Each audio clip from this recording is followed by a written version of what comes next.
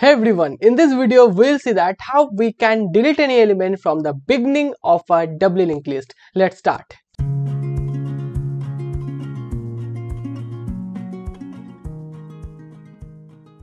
So how we can delete any element from the beginning of a doubly linked list. So at first we have to check that our head next is null or not.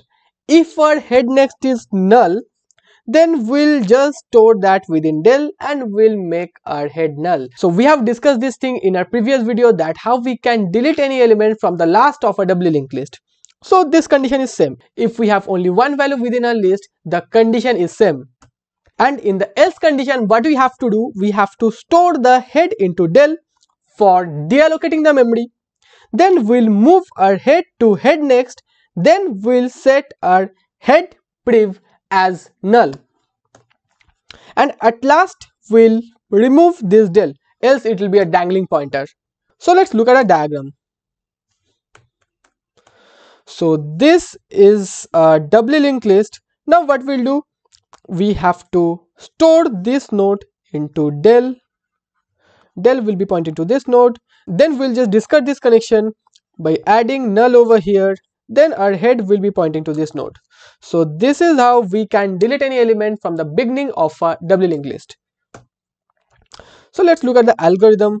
As you can see that we have taken a reference pointer which is t, we have taken a del pointer which is del, we'll just deallocate that memory, then we have a condition that is if head next equals to equals to null. We have discussed about this condition many times. So if we have only one value within a list, then head next will be null. We will just put head into del then we'll just make the head as null. Else what we'll do? We will else let's say that we have three values within a list.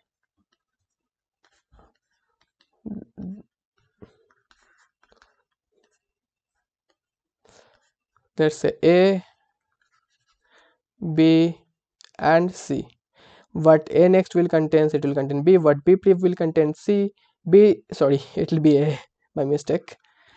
B next will contain c c priv will contain b. It will be null it will be null. So we'll just assign we'll take a pointer that is del del will point to this node we will assign head into del then we'll move our head node.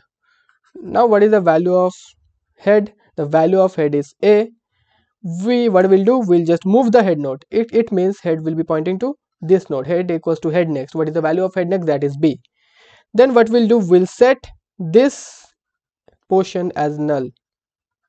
So it means we have discarded this connection. Now what we'll do now what is our first node? That is b because head is pointing to b. Now what we'll do we'll just deallocate this whole thing. So we'll just deallocate that memory so this is how we can delete any element from the beginning of a doubly linked list. So I think this portion will clear. Now we'll do the hands-on. As you can see in my screen that we have declared the structure, we have declared the head pointer, create node, insert function, this is the insert function, then we have written delete at beginning. It means we will delete any element from the beginning as you can see that this is the condition for deleting the one and only node from a doubly linked list then there is the else condition if we have more than one value within a doubly linked list so there's a traverse function. So how many times we have called the insert function? Three times. How many times we have called the beginning function? Four times. So let me insert some values. 10 20 30 so as you can see that at first how many nodes we have within our doubly linked list? That is 3 10 20 30 at first we are deleting 10 how many nodes we have within our list? That is 20 30 then we are deleting 20 how many node we have within our doubly linked list? That is 1 that is 30 we are deleting 30 you can see that. Whenever we are calling these two functions traverse and delete at beginning then we'll just get that. No data present in the list. So this is how we can delete any element from the beginning of a doubly linked list. If you have any doubt just write in the comment section. See you in the next video